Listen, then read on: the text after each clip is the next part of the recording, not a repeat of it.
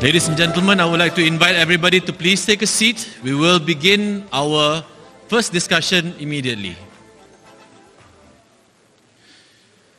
Now, ladies and gentlemen, as I've mentioned earlier on, today's topic would be Are political parties essential in a parliamentary democracy? Your moderator for today's topic itself is today Mr. Kamarul Bahrin Haron. Encik Kamarul, the floor is yours. Hi, thank you, thank you so much. Um, well, I guess some, for some, the news is more outside the hall than inside. But I promise you, for 25 years that I've been in news, current affairs, and the media, I know how to change that equation because it's better. The lesser you have in here, the more we on stage can speak. So that start, and they will have to make up the time that they have lost. Um, the topic, I, when I got it, I said, you guys don't need me to moderate this topic. Because any political science student can actually discuss this topic. But then again, it's not meant to be literal. We all know the answer to the topic. Are political parties essential in parliamentary democracy? We all know the answer. The problem is how to market and benchmark it to reality. If you Google why political parties are essential in the democracy, one of it is to make sure that there are smooth distribution of limited resources in a nation, within a society.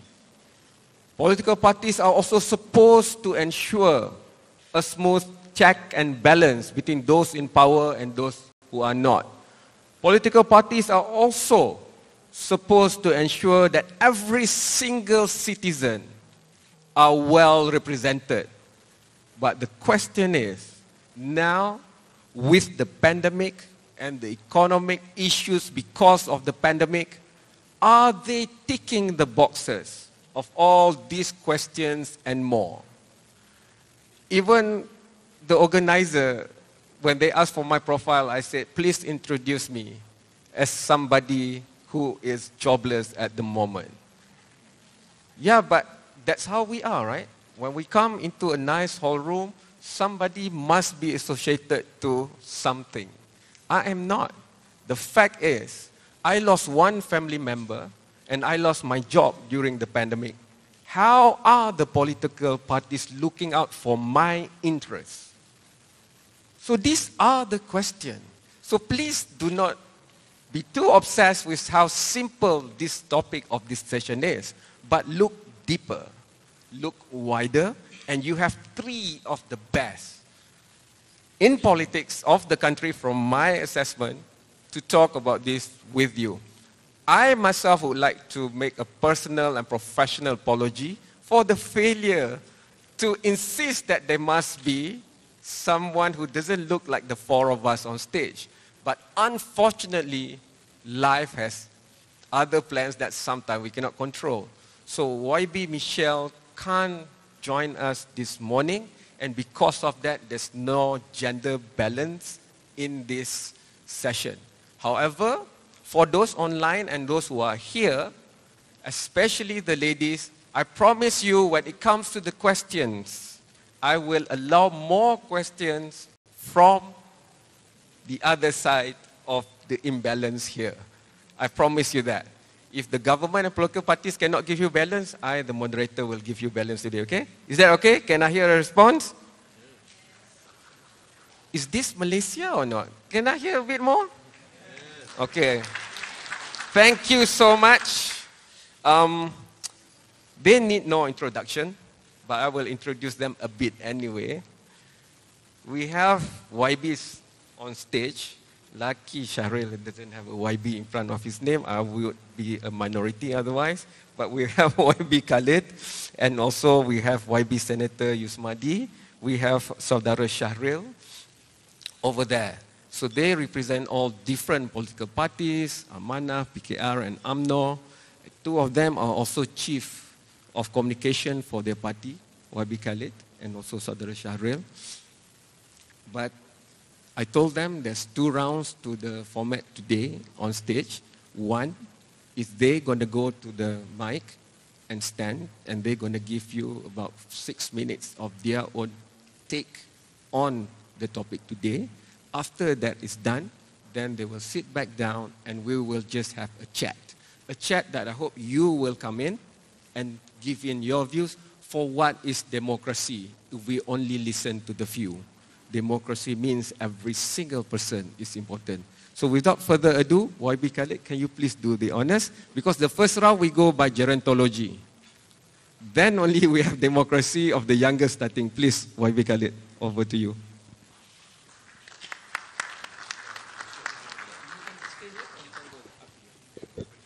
Okay, please. Assalamualaikum warahmatullahi taala wabarakatuh. Salam sejahtera. Very good morning to everyone.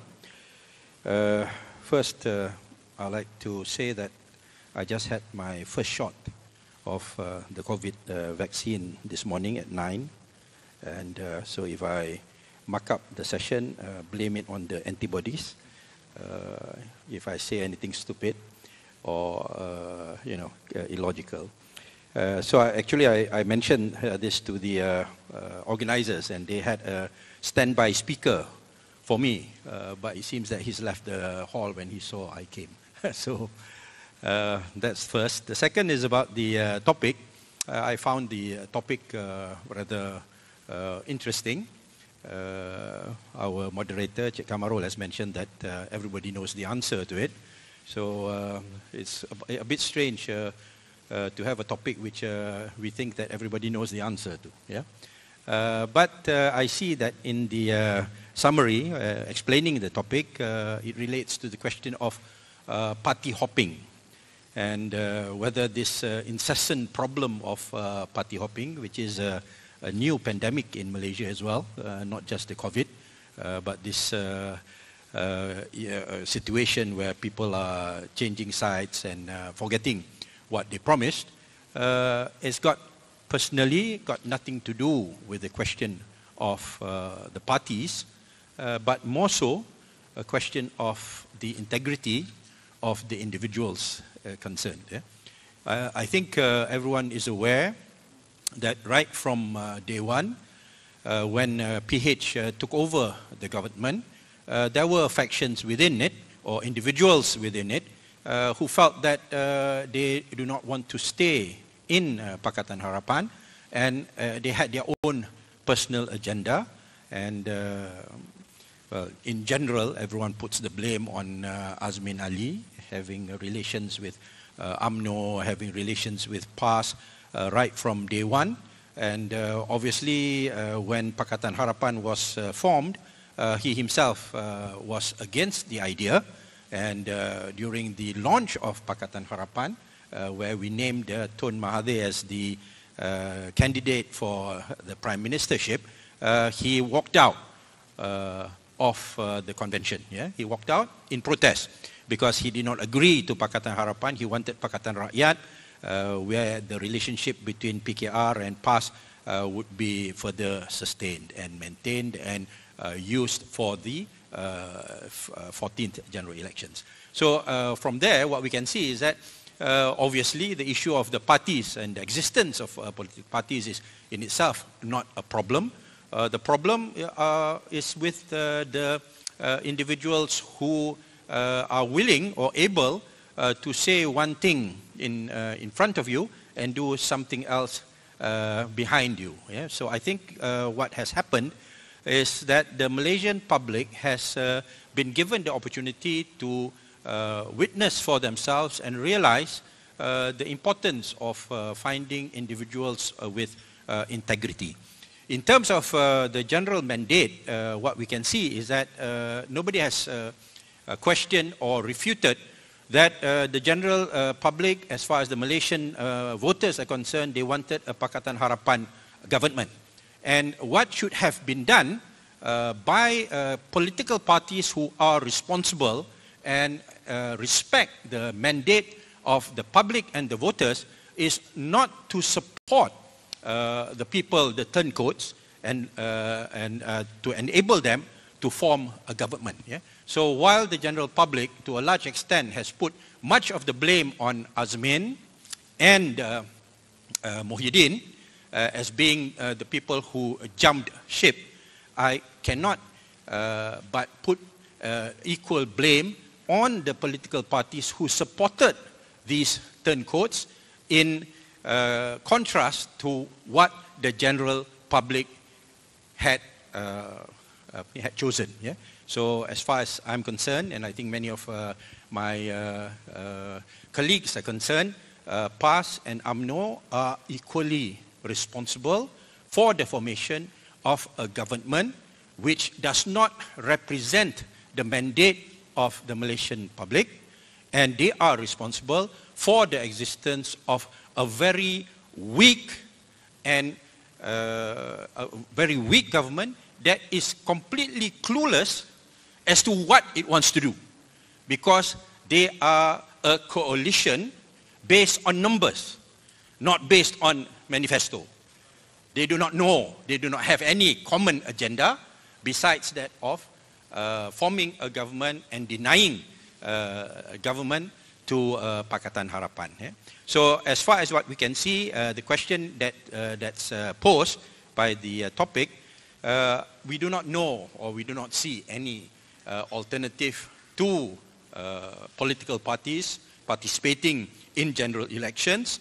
But what is important is that for all the parties to put forward candidates who are, who have integrity, who uh, will respect the decision of uh, the voters and uh, equally so, uh, this must also be shown by all the political parties once they have been, uh, uh, once they are, they've lost the elections, they are opposition, they should respect the decision of the Malaysian voters.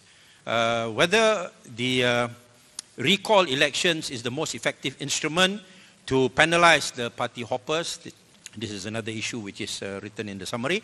Uh, I think, yes, that's the way to go for anybody who wants to leave the party and has a, a different agenda uh, from what was promised to the voters uh, in, during the election. Uh, they should resign. Then they should recontest the seat with a new manifesto and exposing or explaining to the general public and to the voters what they now believe in and what they want to do. And if they can win the election again uh, on this new ticket and on this new agenda, then obviously uh, they have the moral uh, right to uh, say that uh, I represent my voters. Yeah? I represent the electorate. I represent the people within my constituency. But for as long as they do not do that, then it's obvious that they have actually gone against what they promised and uh, the uh, voters will definitely punish them in the next general election if we ever see one. Yeah, because uh, as you all know, we're currently in a funny state of emergency. Uh, it's an emergency where uh, nothing can, where nothing is uh, different except for the fact that the parliament does not sit. Yeah, so just now my, the moderator said that he has no job. I have a job, but I can't perform my job. Yeah, I, am an MP, I'm a member of parliament, but the parliament is closed. Yeah, uh, until further notice. Yeah, so I think uh, as far as uh, I'm concerned, what we have learned from this rather sad episode is that the next general election uh, you must uh, put forward candidates who are committed to the party agenda and will perform and hold onto their promises. The next general election will be a campaign against uh, party hoppers, uh, political traitors, and those who support them. So, which includes, of course, UMNO and PAS. Yeah? Okay. Uh, because if they, did, if they were not supported by UMNO and PAS, they wouldn't be able to form a government anyway. Right. Thank you. Thank you so much. Can I have appreciation?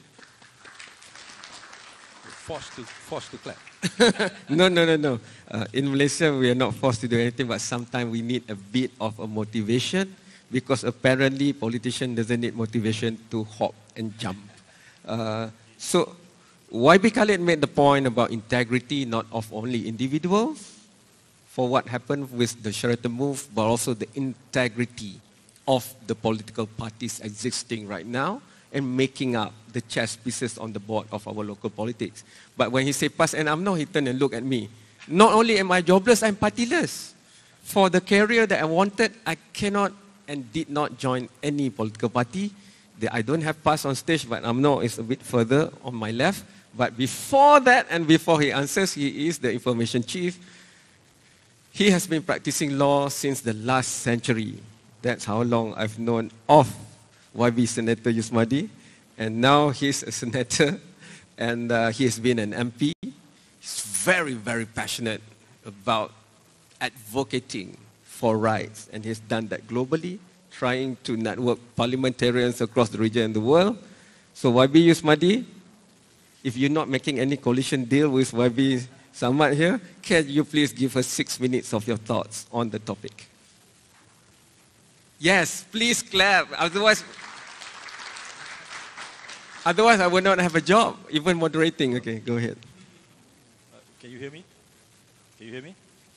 Audio, is the mic Hello? on? Can you hear me? All right. Yes. Uh, thank you, Kamarul.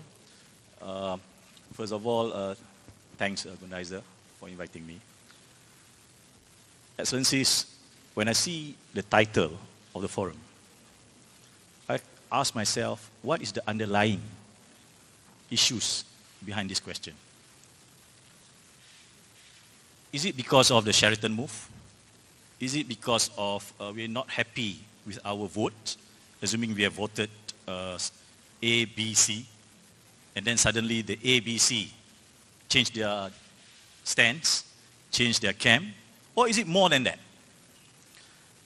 Accidentally, in 2013, I was invited to speak in Strasbourg on World Democracy Forum. At that time, the theme was the distrust of representative democracy. People start talking about it. And of course, at that time, I was recently elected, 2008. Uh, I was in parliament in the, in the lower house, now I'm in the upper house. So it posed me a serious question. Why in Europe at that time, people are talking about the distrust to representative democracy, whereby in Malaysia, we just started what, 60 years since 1957, more or less. Why? And then I see the surrounding facts around it, especially among the Scandinavian country. You see in Sweden and also in German as well, not necessarily Scandinavian, in Switzerland, there is emergence of what we call it direct democracy, or in different context they call it liquid democracy. And of course, you may have parties like pirate parties, parti penyamun. Kalau kita dengar kat Malaysia, pirate party, it sounds like a joke. But it is a serious party. They have elected representative, they have their own specific issues. Of course, most of the issues are urban issues. They fought for privacy rights, they fought for uh, property rights, they fought for uh, very urban-oriented issues. So my questions, uh, at least today, from my point of view, the topic actually forced me to think further what's the purpose of political party in the first place be, be, before we, we, we can, can and talk whether it's essential or not. So for the first round i think i have to be honest with a bit of humility to say look here is political party doing a good job for the last 60 years? Assuming i take the promise of the independence janji kemerdekaan at least in the declaration of independence i can extract a few. Of course, it says, among others, yes, this country will be built based on constitutional monarchy. Yes, this country will be, will be using uh, parliamentary democracy. But for what? At least to achieve, among others. Dia panggil apa? Prosperity, kesejahteraan dan keamanan. Prosperity and apa dia ni, peaceful country. But in between, there, there are guiding principles. It has to based on justice, liberty, democracy, and freedom. So my question is this. Has political party succeed in delivering this, I term it as public goods? for example, if I go further, Datuk Sri Anwar was talking about eradication of poverty, public health. Uh, just now, Kamaru was talking about how you create nexus between someone like him, who is now unemployed. I think he can easily get job. I think he's highly qualified. It's a matter of choice, I think. And lost his beloved one. So how, how do you connect that nexus between political party who's supposed to think his aspiration, which he channel at least once in four years, in four years, through political party? Are we saying that is, is, is irrelevant? I think it is relevant. Because in different context, I have to say, people see uh, irrelevancy of political party. Okay, I, I, I, I go for example, I, I come from Balik Pulau. I see there are other institutions doing a better job than political party. For example, people are still struggling on property rights in the countryside. Where people see, look, we have changed government, but yet for this political party to face market economy, they are helpless. Pasrah. In fact, sometimes they become the cause to the problem, especially when we're not solving the very underlying problems of political finance. How, for example, how political party uh, become too dependent to their political donors to the extent they cannot even stand independently firm on behalf of the poor marginalized. And then when I see there are other institutions like it can be lawyers, it can be bar council, it can be NGOs who become more effective than political party on the ground. So for me, this question is not just a, a, simple question just to determine whether we need political party or not. I mean, for, for, for a new democracy in Malaysia, at least based on my limited uh, studies, at least we have more than 500 level of democracy. In the study of democracy in Malaysia, we are known as competitive authoritarian. What does it mean? We are good in using democratic institution to transact our interests. Do we have uh, judiciary? Yes. Do we have uh, election commission? Yes. Do we have anti-corruption commission? Yes. Do we have media? Yes. But we are also good in using it for our demo- authoritarian purpose. At least Steve Levitsky agree with that. He wrote about it. So for the first round, for me, I want to go a step, uh, slightly deeper to say that, look here, we have to decide now. Because I know on the ground, at least uh, Kamarul, from, from my limited observation interaction, every time when there, there, there is frustration, there are a group of people, so-called independents, say, look here, Yusmadi, next election, we're going to go uh, on our own. But it was not happening, at least. Uh, uh, uh, uh, I mean, Khalid, YB Khalid may know better than me because he's more senior than me in uh, partisan politics. Most of the time, most of the time, the independents will come and tell us, Yusmadi, we're fed up with your political party. I say, fine, let's, let, let, let, us come together. At least, you, assuming you don't have the machinery to do it in the rural area, let's try to offer alternative uh, options in the urban area. But it was not happening. But I can tell you, in 2008, when I about to contest, there, are, uh, there were uh, of interest not only from my party, there are also party like PRM, Parti Rakyat, to offer their services in Balik Pulau. But I have to give credit, they won in 1960s, 1969. Just to say that kampong people uh, not well aware of political option, political choices, I don't think so. People of Balik Pulau as early as 60s have decided something, I would say, in a way, quite radical for, for, for Malaysian standard at that time. So uh, on that note, uh, apa dia ni, Kamarul, I think this question, I agree with you, is not a simple question. I have the humility to admit we have to come to think together and see what will happen at the end of this forum. Thank you so much. Yes, you guys are getting better. Malaysia has hope. Thank you, Ismadi. Um, he only agrees with me after I'm jobless. When I was the editor in chief, we fought on many, many issues, even live on air. But they called him YB Astro Awani at one time. So that's why the last five to six years, we started changing to younger generation. One of them is this guy that I'm going to introduce next. Saudara Shahril, I'm so proud. I am declaring it publicly here that when, you know, it's not easy to be in charge of a newsroom. You look at the, all the political power play and then you look at your responsibility towards every Malaysian. But Saudara Shahril gave me some hope because he was very young then, he's still young now. But maybe Michelle would have knocked us all out of the park because she's the youngest in DUN Selangor. But um, for somebody so young to espouse something so deep, that's profound, not only on television, but for every single Malaysian. So, Saudara Shahril, six minutes is yours. Make us a believer. Well, you really built me up to fall. Um, Bismillahirrahmanirrahim. Assalamualaikum warahmatullahi taala wabarakatuh.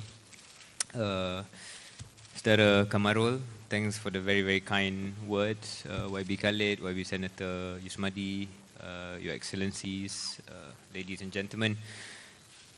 I see uh, Datuk Sri Anifah as well in the audience. Thanks for uh, popping by and making this a little bit more nerve-wracking. I'm only kidding. I don't get nervous. But I will say this. Um, you know, usually in forums like this, I try to stay above the fray uh, and engage with the topic. And I will try to do so, despite uh, certain provocations from the first speaker. I will, though, agree with both speakers and with Kamarul himself when I say that the topic, with apologies to the organizer, sounds like a curious misnomer because the answer is patently yes. Obviously, political parties are an essential part to democracy and to parliamentary democracy especially. But I suppose the, the spirit of the topic is driven by a cynicism uh, that Malaysians feel towards political parties in more recent times. And maybe that's what uh, we're here to speak about. Because while partisanship endures and hardcore supporters of whatever political party uh, will remain steadfast in their beliefs about uh, the team that they support, there seems to be a growing sense in my mind that among the undecided voters and even among the more moderate supporters of political parties, there seems to be a sense that our politics is broken. Uh, I think a corollary sentiment emerges, uh, which is best encapsulated by the throwaway comment that we hear more often now than before, which is that semua parti politik sama. Uh, all political parties are the same. Or all politicians are the same. It's a comment that none of us on stage would want to rush to agree to. Obviously, we don't want to say that all politicians are the same. Neither do we want to rush to agree with the idea that all political parties are the same because that would strike at the power, the appeal, heck, even the reason for why we associate ourselves with any one side. But the claim sticks, and the cynicism is real. Uh, and I think it would be foolish for us to suggest otherwise. What has birthed this cynicism? What has driven it to the point where uh, there's so much discontent and frustration. And for somebody slightly younger than the two gentlemen to my right, it's, uh, I had to throw that in. Uh, I suppose it's a bit more important because not just as a politician, but perhaps as a Malaysian, I want to be involved in politics one form or another for decades. I don't think in five-year horizons. I want to think in 50-year horizons. And if this thing is not fixed, uh, then whatever careerist ambitions I might have or anybody else might have will be, you know, for naught. And, you know, it won't actually mean anything in the grand scheme of things. So I think briefly, what's birthed this, and I, I had some thought on the way here, and I, I feel that there you know, about seven things that I wanted to lay out in the introductory remarks for perhaps further discussion. One is, reason number one in my mind, is the defeated expectations from people about Pakatan Harapan, uh, which sits in stark juxtaposition with uh, the, the great hope that followed their success on 9th May, 10th May 2018. And I think you can't, you know, this is, you can't under, sorry, you can't uh, overstate this.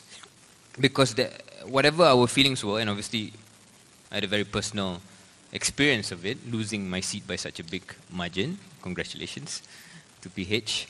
Uh, whatever personal feelings, even I felt the day after, a certain level of, I can't say pride, I'm not going to say it live, right? Uh, but a certain level of, you know, actually no, it was pride. It was pride that Malaysia was able to change government quite so peacefully, that Malaysia uh, had proved to the world a, a, a, ruling coalition that had been there from the beginning could actually be unseated. So there was a certain level of hope, even for me, even for me who uh, obviously didn't want it to happen. But what followed after, I think, uh, without going too deeply into it, um, the defeated expectations among the people were real, and I think that's reason number one. And as I go through these reasons, uh, they are, you'll see they're not mutually exclusive because, you know, obviously some feed into an, the other. The second reason I feel is the increased infighting within previously stable coalitions. Uh, that is true and was true especially for Pakatan when they were in government. I suspect it might still be true today. It's definitely true for the Perikatan Nasional Coalition today as you would have seen in the last couple of days. Reason number three is the Sheraton move. Um, however we assign blame, I will have a different reading from YB Khalid about how we assign the blame. It almost is a given that that incident didn't help uh, inspire confidence in political parties, in politicians, in integrity, as YB Khalid said, and I completely agree. Reason number four, Sheraton or not Sheraton, party hopping in general has been super rife over the past few years and it has never been so consequential as it has been this past couple of years. So, you know, hopping has happened, let's not be naive about it, but this time or this round, this penggal, uh, kesannya cukup-cukup uh, cukup besar lah, cukup jelas. Uh, reason number five that I've listed is politicians' behavior and statements, whether in the press or more consequentially perhaps because of coverage in parliament. And uh, I think this is true even for my own party, where you know remarks that are made which again don't inspire confidence that your elected representatives are there due to their knowledge of how to fight for your uh, agenda or how to better build the country uh, but what you see in viral videos are remarks and statements and you know utterances uh, which which are you know not commensurate to the title yang berhormat. Reason number six, I feel, is also a lack of quality policy making and or policy execution. Without going into too much detail into it, I think everyone gets that. Uh, people no longer look up to the political class as uh, you know, the class that is going to help make your life better. There's a, again, the cynicism, the, the, the feeling that it's not like before. Just anecdotal, I'm, I'm just going off the cuff here, but masa kecil dulu, when we were younger, and I was just having a chat about this with a friend. Masa kita kecil dulu, kalau kita tengok menteri, civil servants, um, uh, just the, the, the infrastructure of government lah, right? the economy of government. Kita mungkin tak faham what is happening, tapi kita rasa dia orang buat something.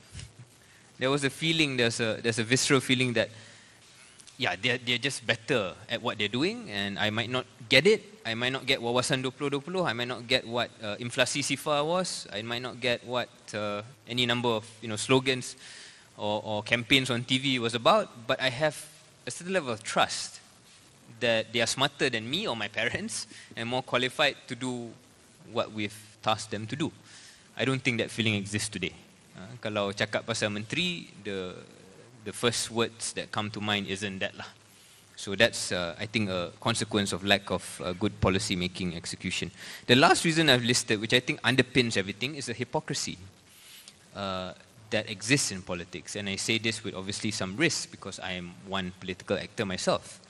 Um, but I think we have to admit YB Khalid, uh, YB Yusmadi, that there's a grow. I mean, hypocrisy exists anywhere in life. If you are a tribal person in a field, i.e. sekarang ni, tribalism lah, we are a party member, of course there'll be bias. Of course I will not see things or advertise how I see things the same way uh, if it you know, hurts or helps the image of the team that I'm with. So I'm happy to admit that, and I think we all have to. But the level of hypocrisy, I think, over the past few years has reached a certain level in which it's so naked and it's so blatant. The same people who say A today say B tomorrow. Uh, the same party who attack a certain narrative then uses that narrative then besok. Uh, you know, and, and vice versa. So I think that, that, that growing sense, it's very hard to put in words. Uh, that's the, the level of um, uh, uh, frustration that comes from, I think, the, the, the hypocrisy and the excessive bias that political actors and their supporters uh, say. And I, I don't claim to be completely innocent of this, but I think it's important to, to lay out that as one reason. So, just to conclude, before I take too long, uh, a few suggestions. I think A, to solve this, we need anti-hopping legislation, you know, recall elections. I saw an article the other day, a menu of options, so happy to speak about that, but I think that's one uh, thing to do. Second, I feel that there's a need for regeneration in the personnel uh, that make up political parties, ones that are less likely to make funny remarks, ones that are less likely to be so personally invested in you know personal battles that have gone on for decades. I was I've been said I, have said this in the past. The main political actors on the Malaysian stage are still the same people who have hurt each other so deeply that it's probably impossible to have any sincere or genuine uh, conversation between uh, parties that they represent. That's just my, my feeling, and I think regeneration, nobody disagrees with that. Three, political education for political class, not just for the, not just for the masses, but also for the political class, so that they have a certain level of quality when they become our elected reps. And lastly, more bipartisan um, efforts, not just at the top, but all the way down to the grassroots level, uh, so that we can better uh, improve our politics and make it more hopeful. I look forward to the rest of the discussion. Thank you very much.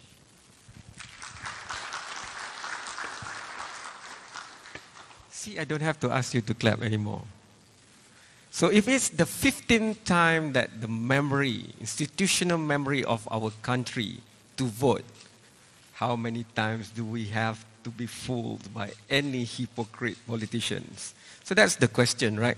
But it's not that simple a lot of points in the seven that was put by Shahril, a more developed democracy, a more powerful society like America, they were grappling with Trump until now. And thanks to Astro Awani, over 15.5 years, I've interviewed 14 Nobel laureates, ex politicians, senators, whatever. But the point is, institutional reforms, that's what I want to make. So if the question is that, if we look at political parties as institutional, have there been reforms? Why do we keep hearing the same things over and over again? Money politics, hopping. I'm a journalist for 25 years. The same things, just different actors, different settings. So, in this second round, which has begun, I would like to start with that, but as I promised, and I cannot be like what we are lamenting, right? Hypocrisy. I need to stand to my word. I want to take in views or comments from the ladies because you guys are not represented on stage. Any that want to go and give a point? I'm giving you democracy practice right here as compared to certain institutions. Going once? Twice? Yes. Thank you so much. The usual rules, please state your name and who or which organization. But if you are jobless and unaffiliated like me, it's okay also. Please, go ahead. Hi, um, I'm Liana Khairuddin from the British High Commission, Kuala Lumpur. Um, so I'm going to take you at your word, Kamarul, uh, and I have two questions for the esteemed panelists. Uh, the first one is, as you all know, politics is actually a mix of identity and ideology. Uh, we have three Malay gentlemen on stage, um, uh, each from three supposedly very different political parties. can you actually tell us what is the identity and the ideology that your parties represent? My second question is actually what Kamarul just alluded to the patronage system. Political parties exist because we need money to fund politics. The dependency of patronage system in Malaysia is entrenched. How does either of you or your political parties plan to empower the voters in addition to probably keeping your politics alive? Thank uh, you. please pardon me. I'm, I'm- I might still be suffering from long COVID, but I don't know because MOH from the very first day never put me in their treatment list or even contacted me. Uh, what was your name again? Liana Khairuddin. Liana Gerti. So I will always remember your name because you, Lia, because you took up the challenge. Um, uh, soalan pertama tu seminit je boleh tak? Because I know you can take a whole night and the night after that to talk about ideology. All three of you. Just the first question first and just one minute each. Because Wabis Khalid cakap, you know, you kena start dulu second round, so please. Can, can, can. Uh, thank you, Leah, was it? Yeah. Thanks for the question. Uh, what's our party's identity and ideology? Um, so, I, I won't give you the, the textbook answer dalam satu minit. I'll just say that the ideology of UMNO is, uh, in general speak, uh, about how to further the economic uh, and political interests of the majority Malay community while also uh, ensuring that Malay leadership is respected and accepted and celebrated by other ethnic communities. Now, within that general statement, there are a million ways of how you would go about that. You could go about it in Malay supremacist ways, which I don't subscribe to. You could go in more moderate ways, which is the way that I would um agree with. So, one minute, right? terus nombor dua. Seminit dia. Itu Oh, soalan nombor dua. Tambahlah seminit. Ya Allah, berkira. Soalan nombor dua pasal patronage tu. Oh, uh, so patronage was, I think that if I understood the question correctly, Leah, it was about how we uh, ensure we take care of the interests of the people uh, and not just our, How do you change that lah? The how patronage. do we change the patronage? Yeah, uh, So patronage within parties. Uh, yeah, so that's, if, if I understood it correctly, and I apologize if I didn't. Um, for UMNO, I think this idea of patronage is probably more pronounced lah in UMNO compared to other parties because dia parti yang lama, uh, parti yang ada a lot of structure and hierarchy within it. Uh, how do you manage? So for me, uh, how, what I do is uh, I ensure that the ideas that my friends and I bring within the party are strong enough and are appealing enough that even elder statesmen or other you know less complimentary terms that have been used about more elder members of the party can accept them. So you have to somehow find ways to convince them that there is an ins- intrinsic and an instrumental logic to whatever you're pushing uh, I think that that part is important for me to stress sebab kadang-kadang you go into politics as a young person with a lot of yeah, you should have a lot of beliefs, ideals, what you're passionate about.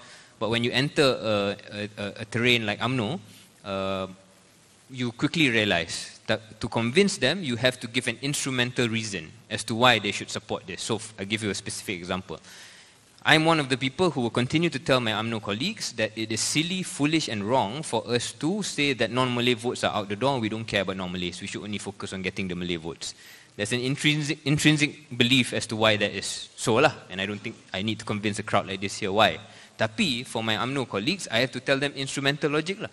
I have to tell them that you do the maths. Are you going to win 90% of the Malay votes everywhere? No, you're not. So therefore, you need this. So, so that's the kind of you know more tactical things that I have to I have to do uh, to complement the intrinsic reasons why we believe certain things. So I hope that helps. Lia, Clubhouse. They explained that panjang lebar. Malam tu dua jam I dengar. Two Clubhouse hours. malam nak tidur. Um, sorry. my name is Liana. Liana. Liana, sorry, I do Um, apologize. And I'm an Android user. So there is also an issue of elitism with Clubhouse. Understood. I agree. But you can do my way. I'm a jobless person. I put four more every time on my timeline, and the community raised and gave me an iPad. and now I have to be on Clubhouse. So there are more ways than one to skin a cat or a politician or a political party. YB Yusmadi, over to you. Uh, Lena, thanks for the questions. I can uh, put in a very uh, normative uh, answer. Uh, my party is a multiracial party. We not uh, belong to a communal party. Because that alone, I have to put it uh, in a bold manner because of it's not easy. We were established in 1990. Uh, it started, of course, as a, uh, social social justice movement, Gerak Adil, and evolved in 1999, become Parti Keadilan Nasional, and now it become Parti Keadilan Rakyat.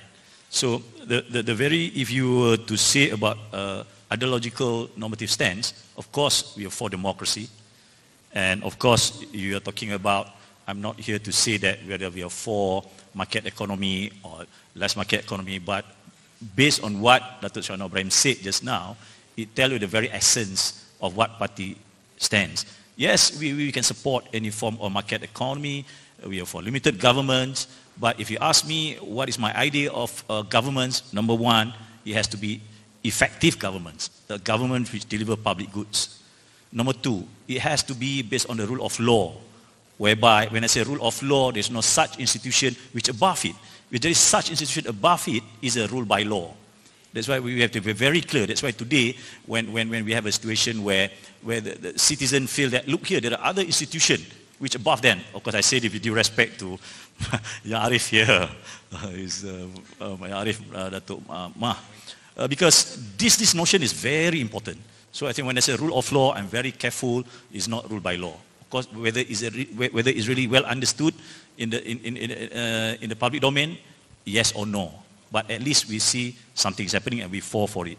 And lastly, of course, I also force something which is a step further, which when I see when democracy is not delivering for, for, for many reasons, for populism, for whatever reasons, we have to go a step further, what I call it democratic accountability. That's what Datuk Sri said. Because when, when you say that, only then you see the very idea of democracy has meaning. So whether, uh, uh, uh, how should I frame it in terms of uh, labeling. I mean, it's not easy. Uh, frankly speaking, when we started uh, this party, our party, I have to say it represents so many people. It represents scholars, it represents uh, bureaucrats, it represents uh, entrepreneurs, it represents even certain, so I call it sovereign individuals. It can be imam, it can be padri, but they are equally important. Uh, should I go for the second question? Let me add a flavor to that second okay. question. So UMNO obviously has it tougher. They are longer and bigger. But uh, just after two decades, for your party, has any of the patronage perception out there any merits? Or is the people's justice ideology pervading from the top to the bottom for PKR? Okay, uh, it is a very actually difficult question because the word patronage itself is not very easy to, to explain for me, I, I, give for example, are we talking about when we have, a, a, let's say, certain, certain patron at, at certain level? Say, say, say, for example, there, there are uh, rich individual or corporate figures say that I, am for for your ideals, I'm for for your cause. Is that considered uh, uh, patronage? So, but for me, what I concern very much is a political patronage where it stops you from pursuing the very ideals of your party idealism. For example, for example, my party, I know, uh, we are very much concerned about the poor, actually those at the fringe, but the day when we, we are facing with the reality, somehow I find to fight against market economy, which most of the time uh, fail us, it's not easy. But of course, for me uh, to address that, it can, it, it's not one way, uh, uh, one silver bullet. Huh? At least the way I look at it, it has to start from, from, the, from big picture, from the rule of law, for example. Of course, now we are talking about uh, political finance, we are talking about anti-hopping law, and of course, uh, whether all these things happening now, not yet in place. But I see hope, for example, at least now, we are in parliament now, despite all the hoping, uh, there are YBs from uh, uh, both sides of the houses. Okay. We form together, we set up uh, caucus for electoral reform. There are YB Padang Rengas, there are YB Tenggara, which currently serving minister, uh, and myself, and of course there are PAS also, YB Dr. Awang from Pendang, and of course we have uh, Johari Abdul from okay. uh, ni, and we are also from Amanah. Mm-hmm. So for me, while we are uh, looking at uh, so many, I would say, disappointment, but at least uh, something's uh, happening. And of course, we did discuss what uh, ni moderator said, whether should we go for recall, whether we should go for uh, anti-hopping law. Things are in, in, in, the, in the discussion. YB? Yeah, um, thank you for the question. I'm uh, from uh, Parti Amanah Negara. Uh, the uh, moderator translated that as the uh, National Trust Party. Actually, uh, we prefer the National Integrity Party uh, because amanah uh, means uh, to have integrity. Uh, you hold to your uh, promises, you hold to your trust, you hold to uh, whatever responsibility that has been given to you. And it's, this party was originally from the Islamic Party history. It's from PAS. There were 18 of the 24 Central Committee members uh, of PAS uh, who were, uh, how do you say, uh, dropped during the 2015 party elections uh, because the uh, Dewan Ulama or the scholars came out with a list of names which did not include 18 incumbents. And the reason why the 18 incumbents were dropped is because we were opposed to the idea of PAS working with uh, UMNO and leaving uh, Pakatan Rakyat, which of course at that point in time the leadership was uh, denying, uh, but in the end, uh, I mean it's quite clear now that they were uh, moving in that direction. And to us it was part of the issue of integrity to be party or a member of Pakatan Rakyat because we had just finished the 2013 election with Pakatan Rakyat and we won the elections on the ticket or on the uh, issues of uh, uh, uh, uh, Pakatan Rakyat, which the manifesto that Pakatan Rakyat brought. So when uh, PAS wanted to move in the opposite direction, we left and we thought that that was uh, completely irresponsible and immoral and unethical uh, for PAS to do so. Obviously, uh, the party has a different uh, side of the story. They say that we are the ones who uh, won based on the party's uh, logo, and we are the ones who are therefore uh, uh, betrayed the trust of the party members. But uh, we, look, uh, we look at it uh, from a different angle. So as far as our uh, party ideology is concerned, it's still basically Islamic based, but we are multiracial and multi-religious, and our party membership is open to all. We take the Islamic principles uh, the political uh, Islamic principles from a very uh, centrist Uh, and universal uh, perspective. And uh, when we were in PAS, we brought the, the slogan of PAS for all, which obviously is not what PAS is now. Yeah? And as far as the economy, political ideology and all that, that I think is quite common. It's basically belief in democracy and uh, it's an open market with obviously uh, government uh, intervention in certain areas. So uh, I don't think we need to go into that in detail. Uh, as far as patronage is concerned, uh, we are a new party, so we have not, we, have, we don't have that problem. we were in the government, and there were members who did give contribution, but the contribution we insisted should be anonymous and just pump in into our party account without any uh, uh, uh, strings attached. we think that the issue of political funding should be addressed, but obviously it's something that needs a two-thirds majority in the parliament.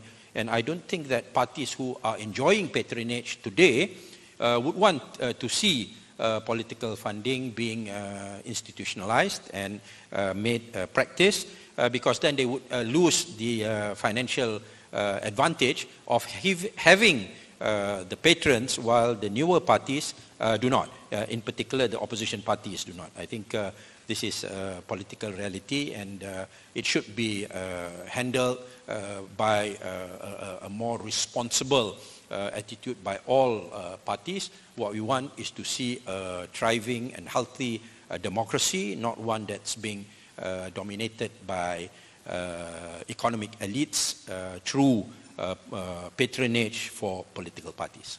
Why we just because of you and uh, integrity, there's a lot of fear in a diverse and multi-cultural, multi-faith society like Malaysia, when there's an Islamic party, for example, then the next phrase would be political Islam, for example.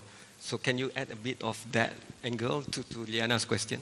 Yeah, that fear is what we aim to address because we believe that the uh, misrepresentation of the Islamic uh, political uh, ideology is something which is uh, very unfortunate. And PAS actually was originally on the uh, on the, a more centrist path, and uh, because of that, it was able to work together with Keadilan and the DAP.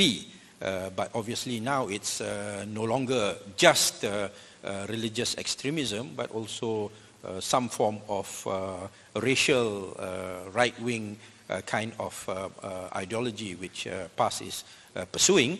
And uh, this was uh, part of the reason why we felt that we had to leave and form a new party, uh, even though we realized that we will be battling against a very well-established and deeply entrenched uh, political institution, particularly uh, within the uh, rural areas. But uh, I think we are making uh, uh, substantial progress, and Cool. uh, the recent surveys Yes. that uh, were undertaken by Sina, ha- uh, Sina Harian and uh, Chin, ni, Sin Chu Jitpo uh, Okay. placed us uh, almost at par with PAS in terms of uh, public support. But obviously that uh, survey did not differentiate between races, so uh, we can assume uh, most probably uh, uh, PAS had uh, purely Malay uh, kind of uh, support, yeah. uh, while uh, we would have uh, a majority Malay support, uh, but uh, maybe some uh, non-Malay uh, support. We have quite a few non-Malays and non-Muslims as our members. So heading towards the last leg of the run in this discourse, it's very clear that the answer is yes. Political parties are essential in a parliamentary democracy, especially like Malaysia. The question is, look deeper and wider. Have they delivered on all the questions and all the political science 101 tasks of what political, political parties are supposed to do? And when push comes to shove, it's not about the tough gets going. This is a pandemic era. So you hold politicians and political parties even more because they are the one who make decisions and control the resources. Either way, whether you're in government or not in government, that's why not just politicians who are with the government that gets the jab, the opposition politicians also get the jab. I fought so hard for journalists to be acknowledged as frontliners and to get the job. But this country, it doesn't think so. So my fellow journalists out there, even some in here, they have to go out daily to the frontiers and yet they are not protected.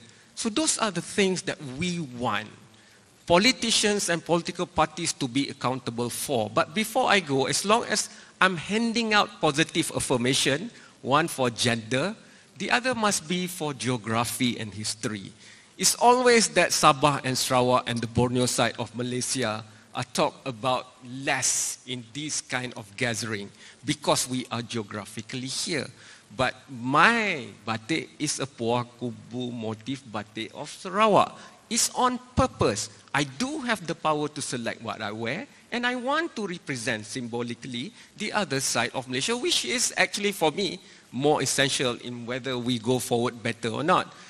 Datuk Sri Anifah, with all due respect, can I ask for any Sabahan or Sarawakian? You get a chance at the mic because I am the moderator. Going once, twice, yes. Please go to the mic, or can we get the mic to him? Technical guys yang baik hati. Yes.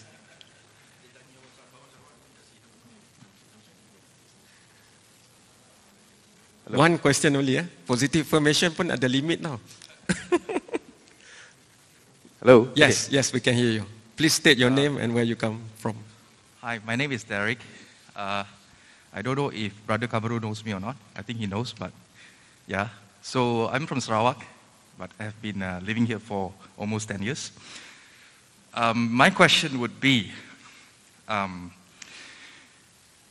is basically we can see the stark contrast between Sarawak political landscape and um, West Malaysian political landscape, whereby uh, as a Sarawakian from our lands, we can see that, uh, that race-based politics is still very much entrenched. Whereas in Sarawak, we don't really, yes, we talk about race, but not in a large, you know, not in a larger scale. Yeah? So the dynamics is totally different.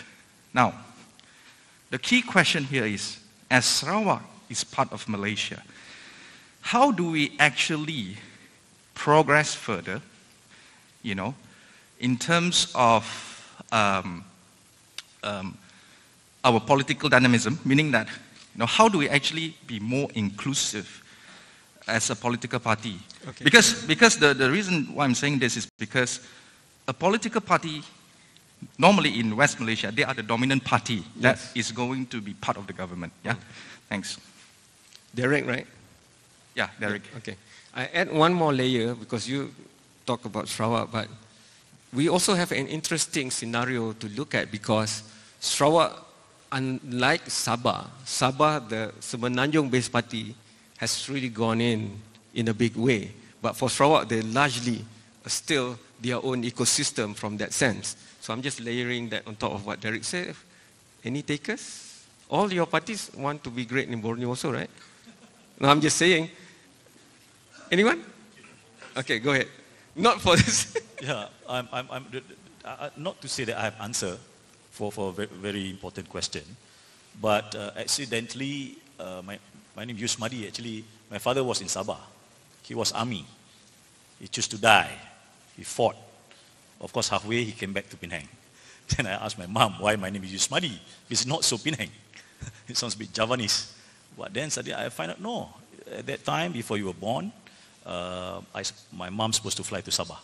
But then somehow, it didn't happen. But still, my father sent telegram, no, your name has to be Yusmadi. And when I study law, then I find the case law. PP lawan Yusmadi. It was accused. Then I know that I'm from, some, somehow it originated from Sabah.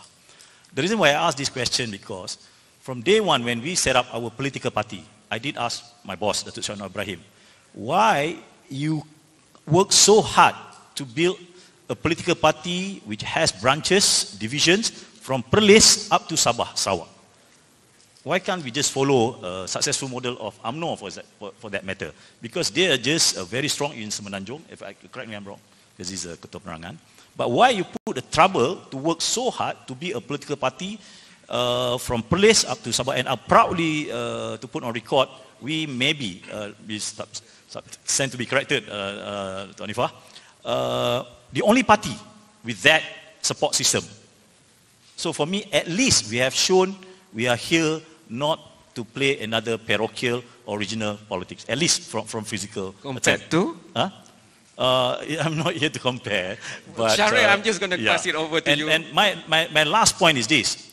Uh, while we are pushing for, for, for so-called universal uh, uh, political dynamic, but I have to admit, uh, somehow, while pushing from this side, suddenly something else comes from this side. For example, we, we, before this, we, we haven't heard outcry of Sarawak for Sarawakian, Sabah for Sabahan. I'm not saying here whether is a right is wrong, but the question is this: whether this is the answer for the very idea of federalism bersekutu bertambah mutu. So for me, that formula bersekutu bertambah mutu somehow has built this country to a certain extent. But the question is that wh- what is the new formula? Wh- What is the, the, the federalism 2.0? So for me, that question is, is somehow has to be put in that context. So at least from our political party, we try, but frankly speaking, not very successful.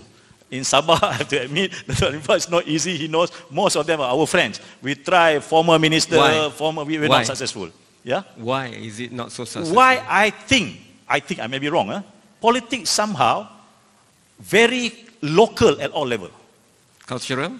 Very local, and I have, I have this word, in fact I'm writing something on this, I say very parochial. Okay. When for me, and parochialism, I have to argue here, is more dangerous than racism. Racism, you can see it. Okay, kejap lagi kita masuk racism. is something very implicit. It Why- reflect about uh, your mindset, reflect how you see things, and I think we have to address that issue. Kejap lagi we masuk. I have no choice, Shahril, because he said a few things, so I have to pass to you. I thought you have all the power, and suddenly you have no choice. Democracy.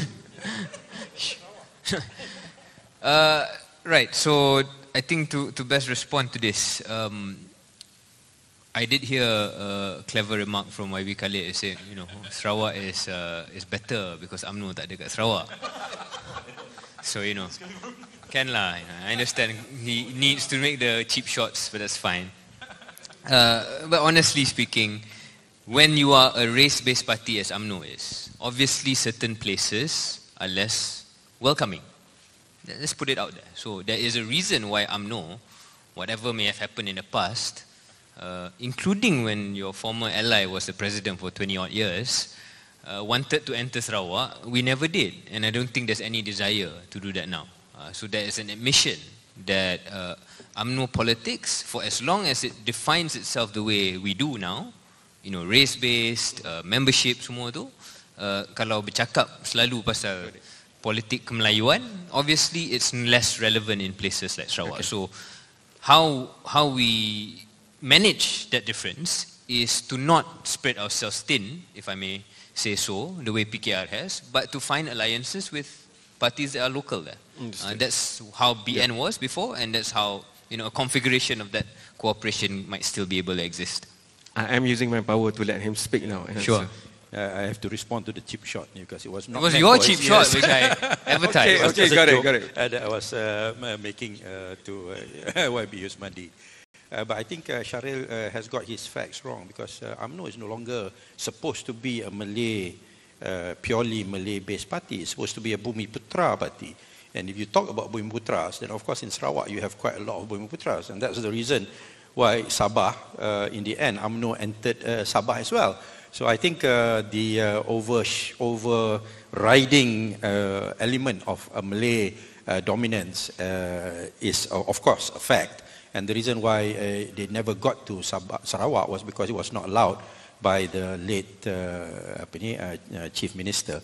Uh, but never mind. I think uh, what's important actually is that uh, Malaysian politics must move away yeah, from uh, being personality centric to principle centric. And this is what uh, we want to do. Um, um, this is a bit of a political campaign, right? Uh, from uh, Parti Amanah, uh, because we're talking about integrity.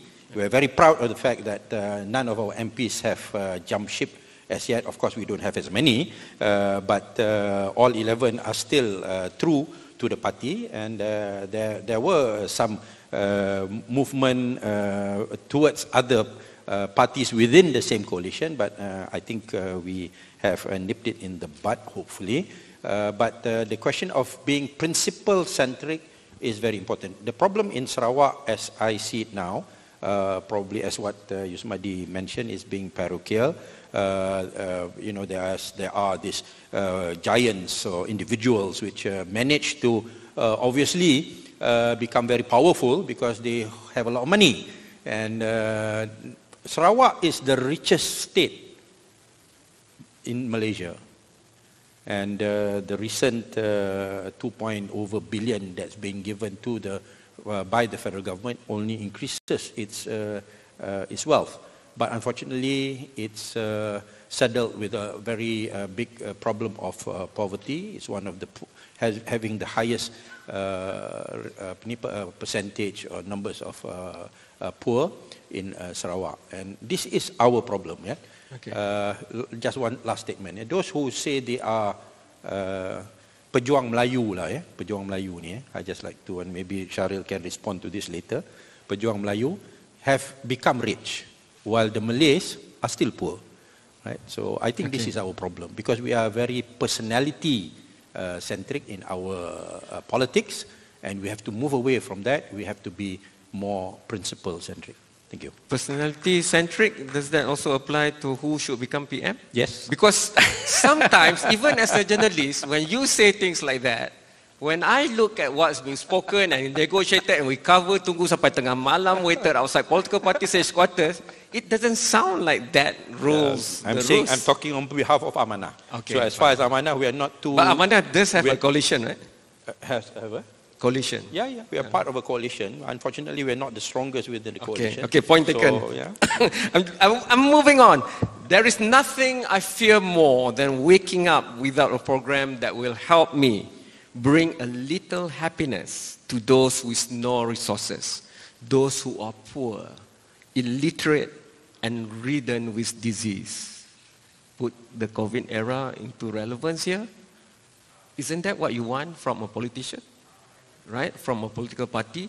But sadly, he is not a Malaysian. He is past already. He is and was Nelson Mandela. The only politician I know in the world, despite being jailed for 27 years.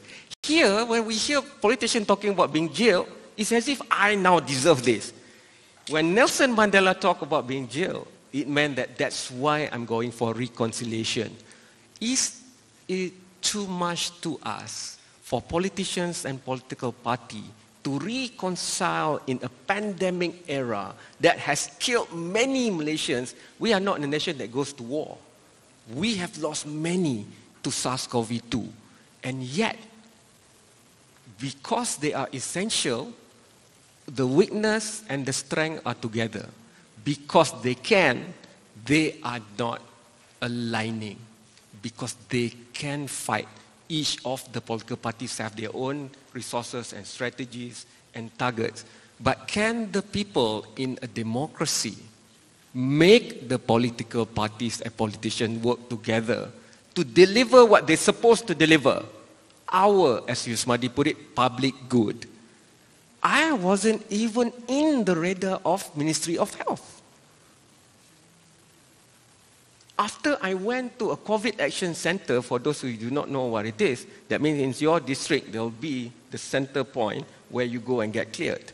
I walk in myself, got cleared, five, sorry, three days after that, the contact tracing people called me to ask as if it's the first time they're talking to me. So, as a journalist and a former editor in chief, when I look at the numbers being mentioned, how do I have trust? Why people talk about integrity? Integrity of data in this day and age is very important.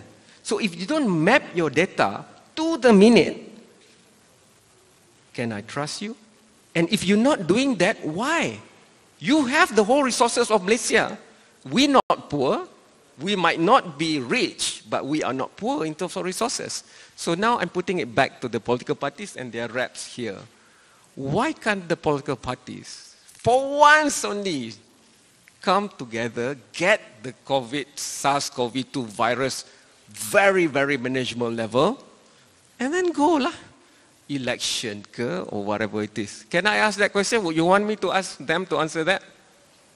Who wants? Angkat tangan. Very democratic are you all. Okay, okay. Banyak ni je nak. Okay lah, tanya soalan lain lah. Okay, never mind. Do you want to take that question? Uh, I'm happy to get to a point where we could work together. But how to work together when even on a floor like this, on a forum like this, every opportunity he gets, he takes a shot. Yeah. Kau aku aku ni sebab tu aku ni. That's that. I mean, that's part of the job lah. You know, Habi Khalid knows this, and you know, it's politics, especially in Malaysia, is very performative. You know, so there's always stuff that we show, and then you know, maybe have a coffee afterwards, and everything's not so uh, adversarial. Tapi the point is, we need to incentivize the ability for people in political parties who want to work together. And I think I, I do. I think it's clear that whether it's on my social media, whether it's what I say in speeches, even on my party platform, whether it's places like this, that I express a desire that I want to. I express more frustration about my own party than most people. Lah. I can verify that. Both in private and in public. Yes. But the temperature in our political system sekarang ni is the cynicism sampai satu level. Whatever comes out of Syarif Hamdan's mouth doesn't matter because dia orang UMNO. Dia sampai level tu tau. Syaril cakap sense ke nonsense ke, tak kisah sebab dia UMNO. So, So kalau Yus Madi punya and kawan-kawan punya strategi asalkan bukan UMNO, it works ha, until now. benda-benda macam tu lah. Dia dia dapat, dia menang election based, based on that. So well done to, for, to them for that. But the point is, if we're talking seriously, we need to get to a point where even if I have discomfort about okay. Amanah or about DAP, about PKR, tapi kalau the individuals and the personnel in those parties, I have to judge them based on their on their own terms. So what's the solution? So the You- solution, the country needs it, right? okay, the solution is I think some were contained in the stuff that I said, right? If there's regeneration in the personnel, if we're no longer led by personal agendas of individuals who are elderly in their age and also elderly in their experience Got of how they hurt each other. Let me put to you a hypothetical question. Sure. So if your generation goes up and hold power in UMNO, your age group goes up and hold power in PKR, Sure. Ah, Amanah, I, I, I really have met only two young leaders from them. So do you think it will change? I think it became a lot easier, Especially if Undi 18 is in especially if practice. Undi 18 is there and people start pressuring politicians to talk about policy, Okay. about COVID, about any number of things. Then I think that it's impossible to not Okay. work together. because I want to represent the balance to the younger group also, so I want to uh, espouse these thought lines here for all three of you. It's not the point that besok undi 18 dia orang kena mengundi. It's the point yang if political parties and politicians represent everyone, including the aspiration of young people, then undi 18 is just a process. But ideally, they are already represented.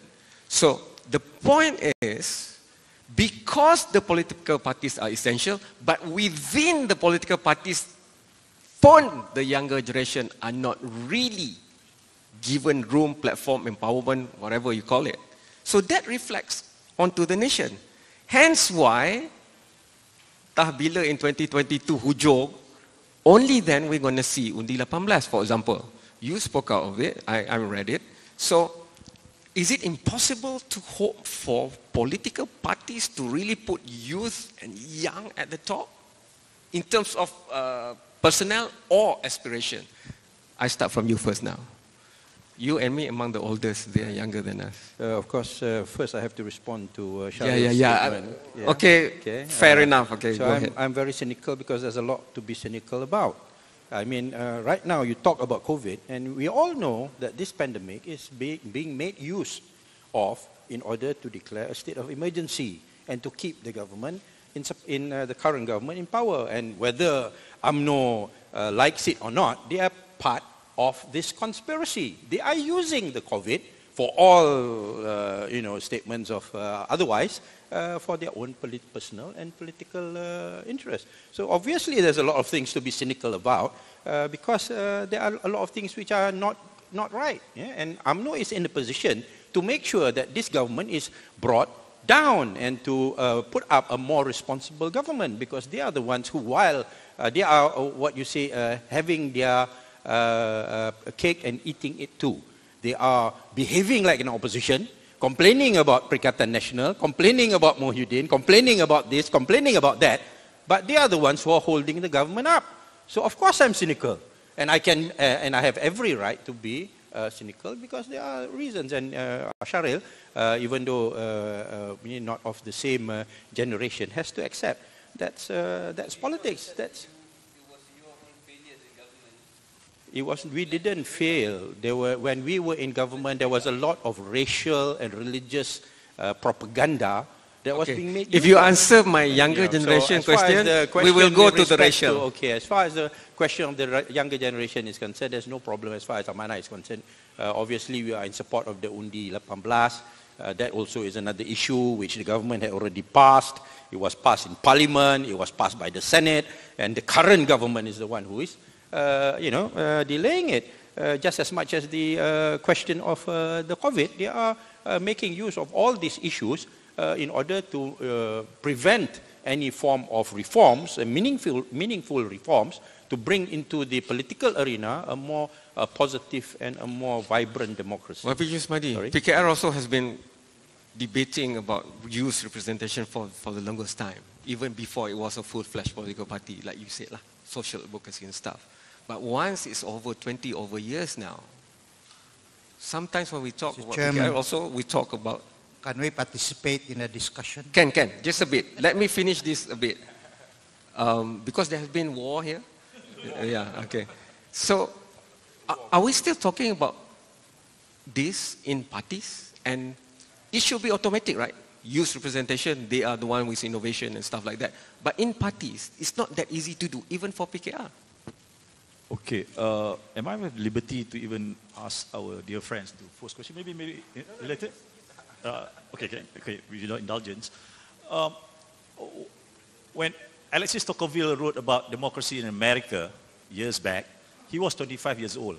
He, actually a French guy, visited America in nine months.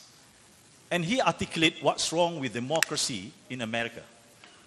To that extent, he coined the word habits of the heart and the very idea of intermediaries. The role of intermediaries, to that extent, it give birth to political party, the idea of political party. Because uh, the idea of political party was won strongly by the founding father George, uh, George Washington himself. Because of this, because he, George Washington, foresee that it's going to be a serious, uh, uh, uh, strong line uh, when you form political parties. But these are things.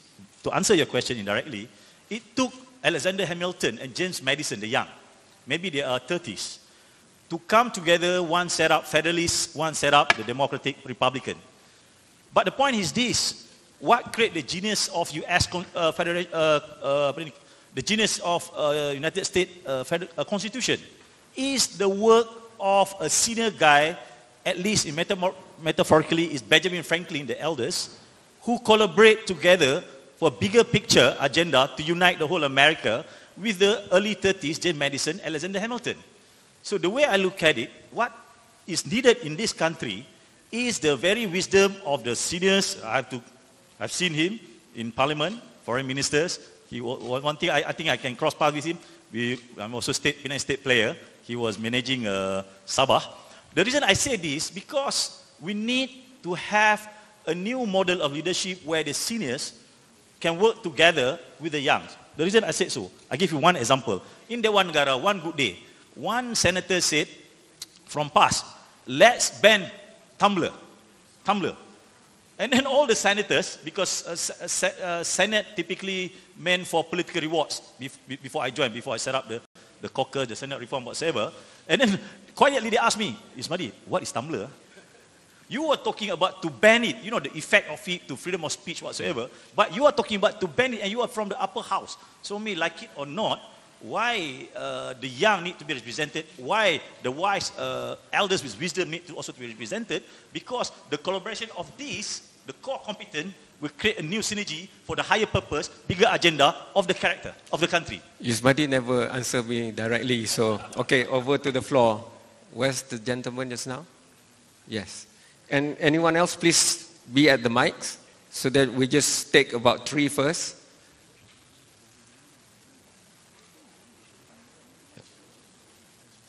Thank you. Uh, my name is James Ligunjang. I come from Sabah. I was formerly a member of the State Assembly. Uh, I would just like perhaps uh, to answer briefly what uh, is the essential part of the discussion. Uh, political parties essential in parliamentary democracy.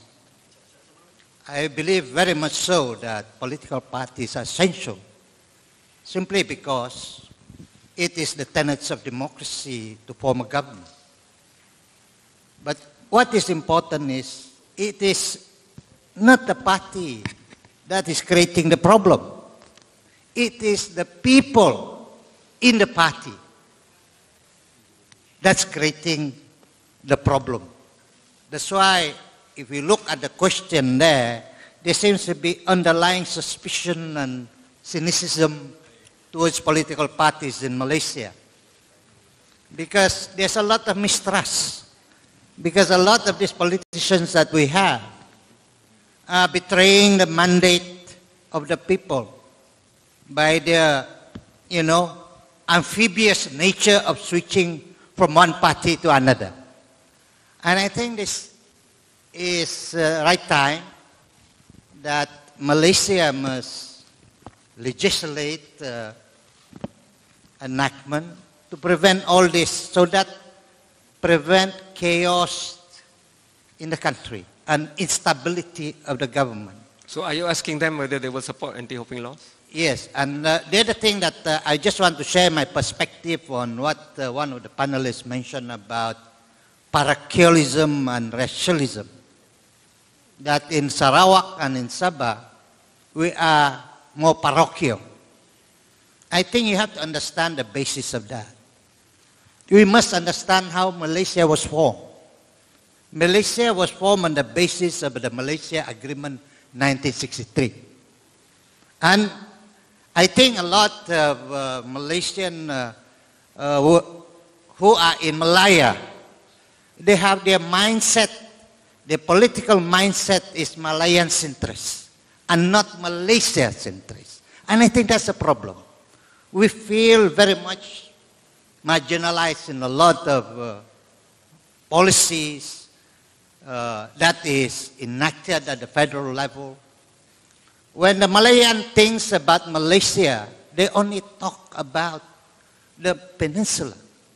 They don't mind, they don't talk about the, the uh, Sabah and Sarawak so much. That's why a lot of, uh, if you go around in Sabah and Sarawak, they know every Malaysian in Sabah and Sarawak know when Malaysia was formed. But look, you go to the villages here in Kampung, in Penang, wherever, even in Selangor, you go to mm, Kampung Baru, ask any elderly there, when was Malaysia formed? A lot of them can't answer. They thought it 1957. And I think this is the problem. Why you notice that we are more parochial? Because it's the underlying uh, belief that we must serve the country together. Datuk, point taken. I just, in the interest of time, wanting to link it back to the editorial line here. So, what is the solution from your point of view? Is I- it a party from Sabah and Sarawak like? I John- think uh, we should come together and really, How? really study the, the formation of the country. Okay. Would it make it better if Parti Cinta Sabah, Warisan, PBB, Parti Cinta Malaysia, um, any party that is now or future originating from Borneo but becoming national be the best way to change that equation? Not really. Uh, the answer should be leave Sabahans to Sabahans, leave Sarawak to the Sarawakians. Uh, we can manage ourselves Okay. based on the uh, rights provided in the Malaysia Agreement 1963. But UMNO has given UMNO Sabah Uh, this is the problem. Uh, the uh, political parties from Malaya go in there and interfere and create havoc and create disunity among the people. Okay. And I think, I think we have to, what I call reset. The political thinking, we must reset. I think Sabahans and Sarawakian, they can take care of themselves. Okay. Can you imagine? You said we are parochial. Definitely we are parochial because we are rich in resources, Okay. vibrant in economy, as what Anwar was saying. Yes. But yet, we have the highest poverty rate in Malaysia. I got you. The poorest state in Malaysia. Dato, I got you. That is a very sad state Yes. of affairs. So I'm going to suggest for the organizer to have a specific topic on this. Thank you so Oh, much. thank you. Thank you so much for your views. But having said that, Dato, I was born in Perlis. Right? Don't have oil. My grandparents couldn't go to school because there's no school within walking distance. Even when my father was born, his white shoes were around his neck because there's no road. He has to walk through the mud of the paddy fields. And yet, the airport was taken away from Perlis and put in Kubang Pasu. The north-south highway wasn't ending in Padang Besar. Legitimately, that should be the way for commerce. It was put because of political decisions. This is what we're talking and discussing today. These decisions are made by the people that we voted in as a political party bloc And yet, the five years when they are in the two honorable Dewan, what do they do? Right? So, to conclude all that, and, and I love Sabah and Sarawak more than I love my state.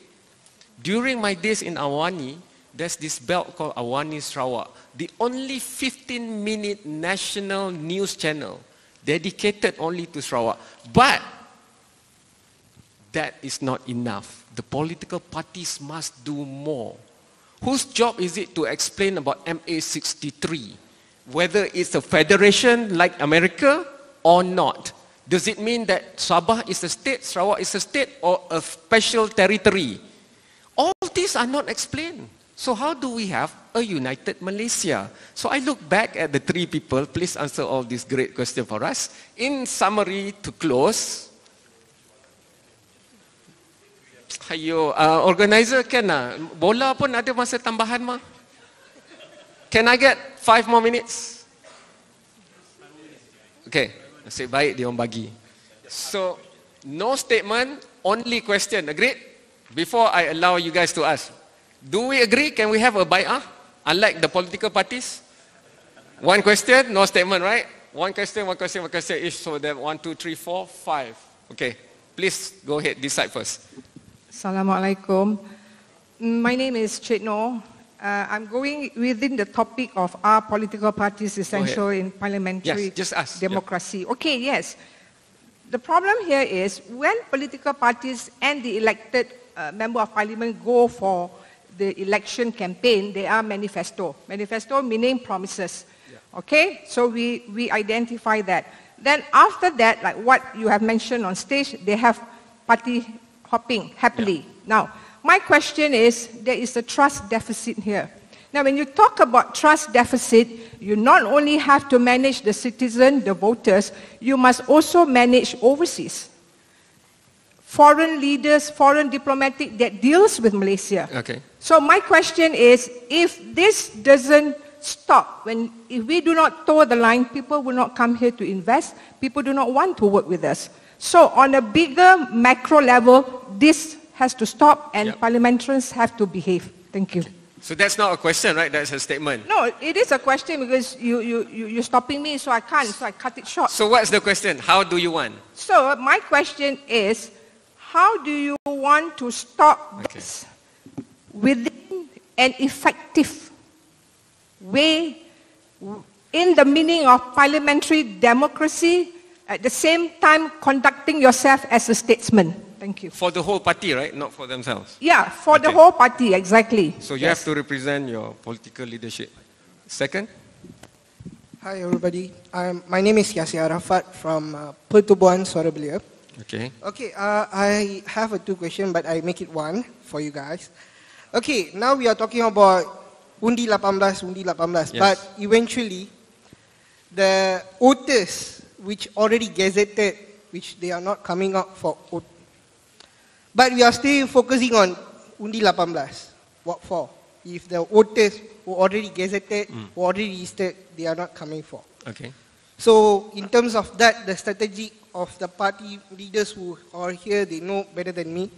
So they need to think about it. And the second thing, we need to understand our Malaysia is a parliamentary democracy, which is uh, managed by YDPA. When the titah, bila di titah dikeluarkan kita harus terima. Kenapa parti politik di Malaysia susah sangat nak terima Okay. berkaitan dengan perkara yang Okay. diberikan Done. ataupun Understood. dititahkan oleh yang yes. yang So dipertuan first you're asking, you said you want to combine one, but it's actually still two. One if, why are we focusing on Undi 18 when even the registered voters are not coming out to vote? Right? Okay. Second is, Agong has said, just follow. That's what you're saying. Thank you. Okay, thank you. Next. Assalamualaikum, salam sejahtera and a very good afternoon. So my name is Haziq. I am 18 years old and I am the president of the Penggerak Akar Umbi Selangor dan Kuala Lumpur. So my, I have two questions to be brought here. I'm going to make it very brief and short, but concise and precise. The first question is, is it very relevant to implement the Anti-Hopping Act And what are the consequences if it is implemented in our country here in Malaysia? Because uh, we want to avoid uh, leaders from political parties or even from the House of Representatives to hop from another party to another and betray the mandates from the people who voted them in. The second question is, is it relevant to implement the maximum age limit for the, for the parliament members to avoid absolute power and give chance to the rest who are very potential to lead the constituency especially and of course the nation? Uh, I, I'm very enthusiastic to hear your perspectives. Thank you very much. Okay. Next, please. Please don't touch the mic for SOP purposes. Just, just, yeah, say it to it. We can hear. Jerit je. Ah. Yes, Waalaikumsalam. represent Muda. Okay. Uh, saya represent women in politics. You just tarik the, the, the tiang. Jangan pegang the mic. Nanti SOP, MOH marah kita semua. 10 ribu tau seorang. Okay, I repeat ya. My name is Farah. Uh, I'm from Muda, uh, represent women in politics. Uh, this is my my friend Muda also. If you have a question. Uh, so I'm Kavita. I am Okay. a journalist by profession and I also am a representative for Muda. Okay. So my question is since you brought up women participation, so women participation in politics and we both are very vocal about it. So my question is do you think uh, gender quota is democratic? Because when it comes to voting, gender is not an issue, but why is it when it comes to women representation in politics, there is a quota system? And in the past government, they promised like 30%, but even that is not fulfilled. Okay. So what, why is there a margin? Because we fight for merit- merit-based concept Okay. over gender-based. So that's my question. All right. Thank you. So, it shouldn't matter. That's what you're saying, right? Yeah. Okay. Yeah, and Yes. uh, talking about 30% of women's politics. Tolong, tak, tak, tidak, tolongkan. SOP, SOP. Ya. Ya. Okay. Okay, uh, talking about the 30% of women in politics, uh, I still didn't see any political party reach that quotas and why. Yeah. Mm. That's the question. So you want it to be like Sweden, where more than 50% are women. Okay. Um, who wants to start first? They all point to you, so because you are cynical. Cynical, YB gets first. Because I'm cynical, then Shahril can respond. Okay, go, go. Masa, masa dah tak ada. Okay, go on. okay, uh, how to prevent uh, party hopping? I think uh, these the voters must uh, teach the uh, uh, candidates a lesson, make sure that none of those who hopped uh, this time around will win in any of the seats in the coming election, number one. Uh, number two, the other parties must also have uh, the moral uh, strength to reject uh, any form of cooperation with the party hoppers because Yes. I, I, I, I put the responsibility, uh, Sharil, I know you say I'm being cynical, but actually it's uh, factual.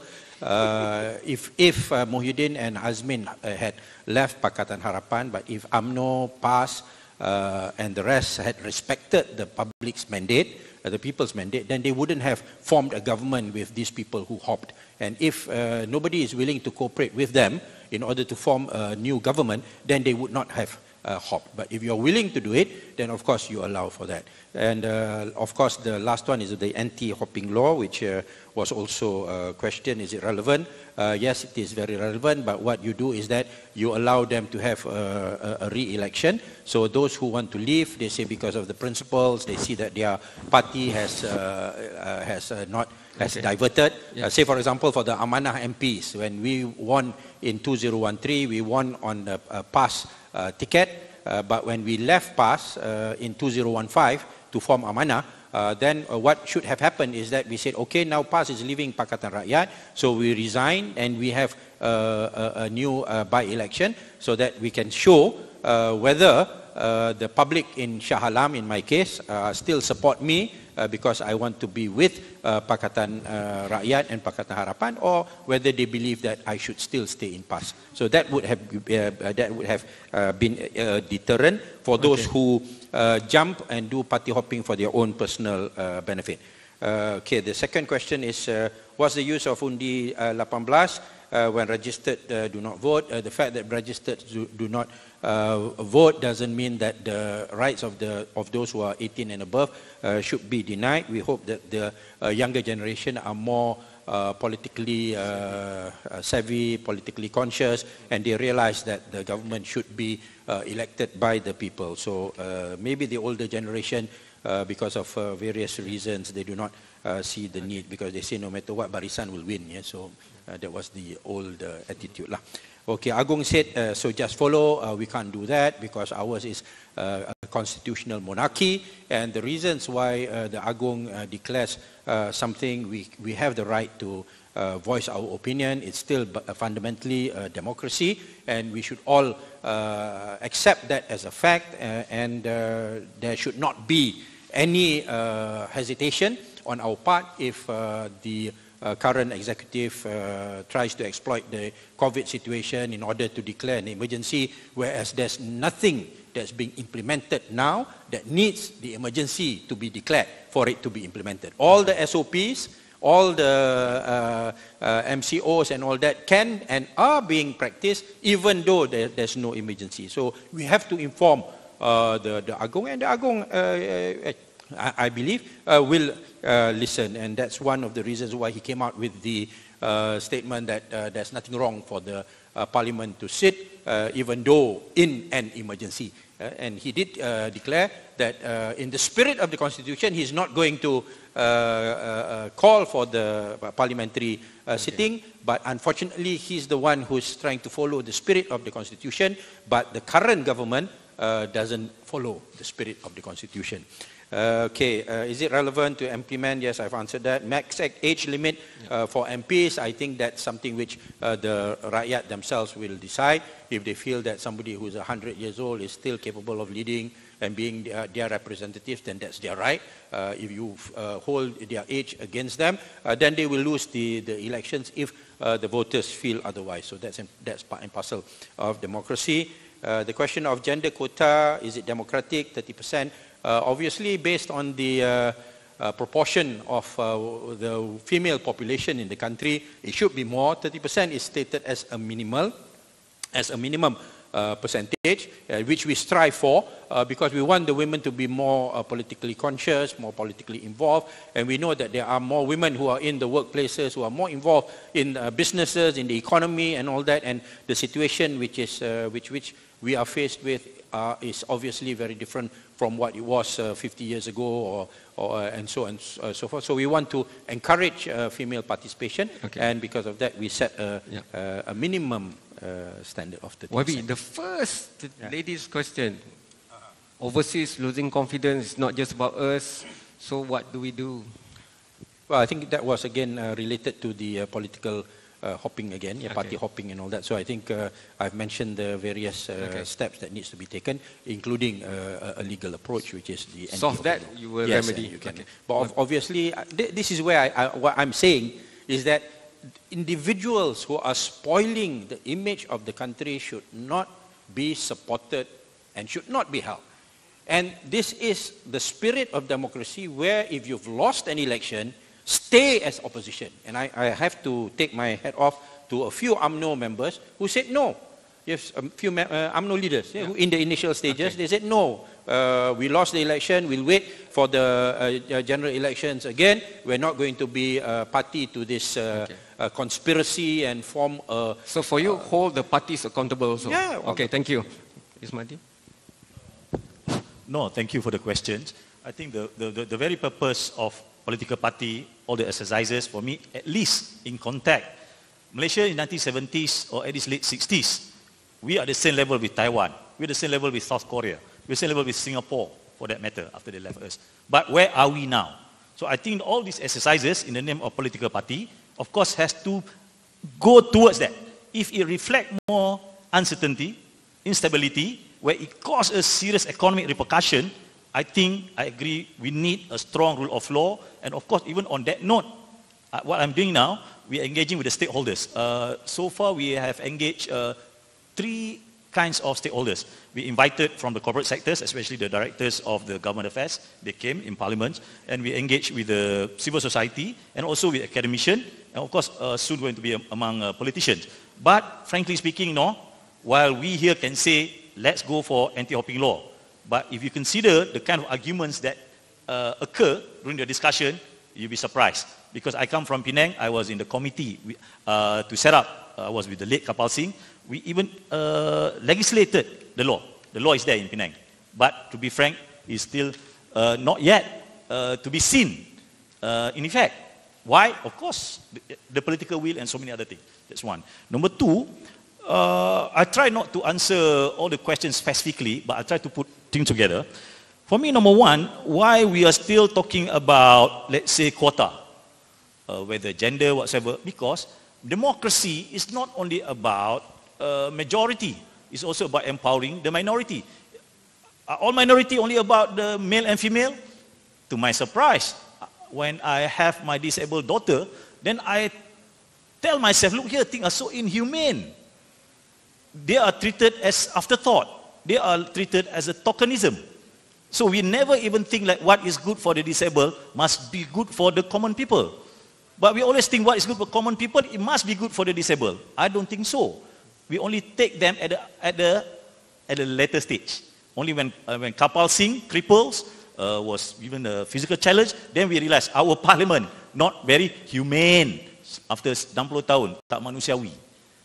And that applies to our idea of development. Okay, back to the very most fundamental question, which I always argue as the big elephant in the room, is parochialism. And James, Datuk James, thanks for the question. I, I actually I haven't complete my, my explanation just now. Parochialism, I argue, is more dangerous than racism, not because of Sabah Sarawak, no. Because the, the, the, the main political challenges for me today is not very much freedom of speech, not very much freedom of association, but planning law, urban, uh, urban planning. Because that where it starts the main problem. For example, I'm in Balik Pulau. I will always consider countryside. Those in Georgetown, it's all urban. That where things started. The quality education only in urban. The less quality education, maybe not in the countryside. And then what will happen to me? Where the, the scheme of the law doesn't distinguish between urban and rural. The tax that they impose to me are the same.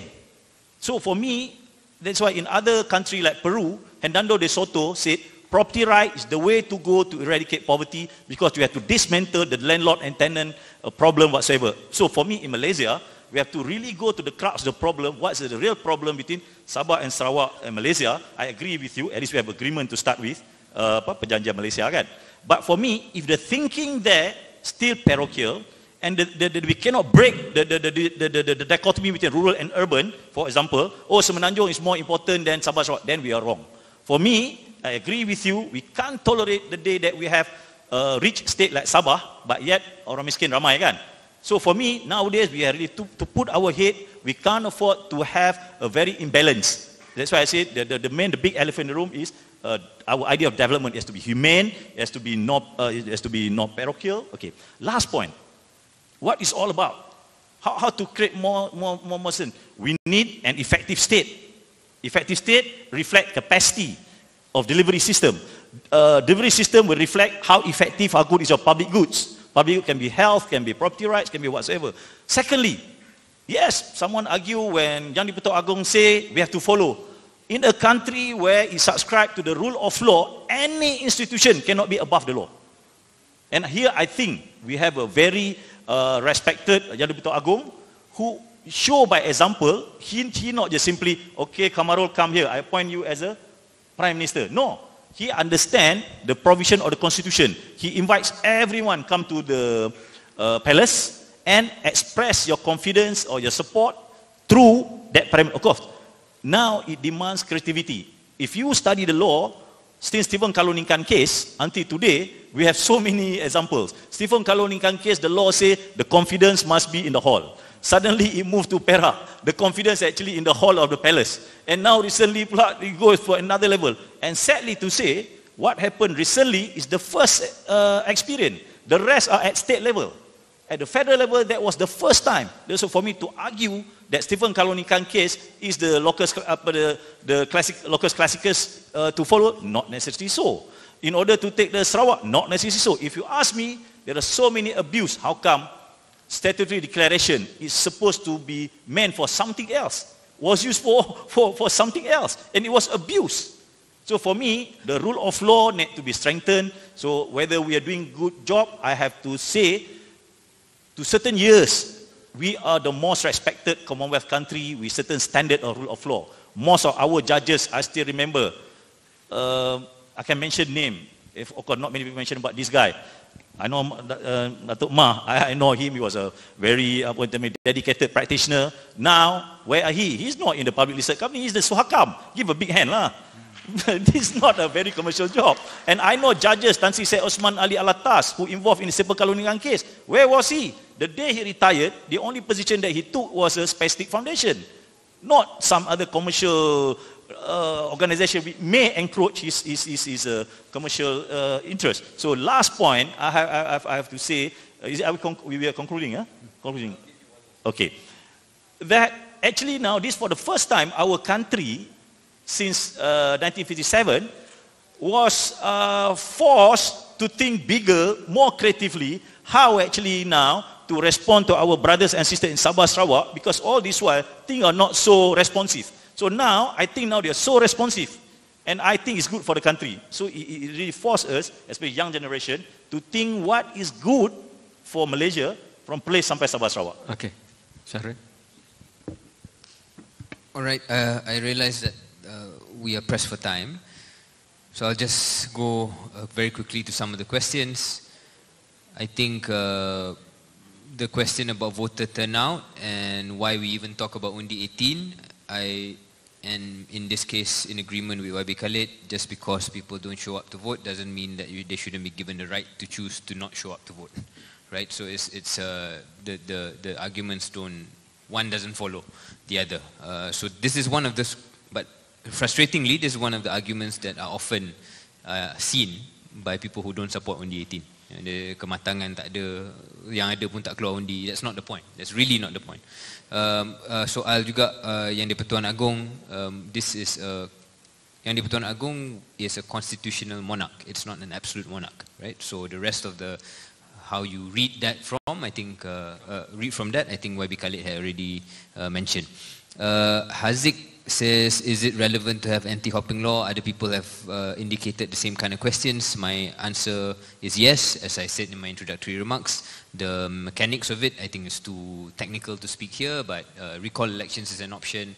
What are the terms under which the recall elections can be made? Cannot be so free and easy lah, otherwise yang menang pun kalau menang tipis people just call him recall balik kan so cannot juga so that, that that's a mechanical or, or more you know uh, technical question but it doesn't run away from the fact that I think we absolutely need uh, to disincentivize hopping especially the kind that we have seen now max age limit I also have in this round banyak setuju pula dengan uh, di Parlimen Shah Alam uh, where I don't think lah you should do you should block just because of you know nanti ageism pula eh so um, as he says, if people hold it against that person because of his age, then it should be borne in the votes that he or she doesn't get.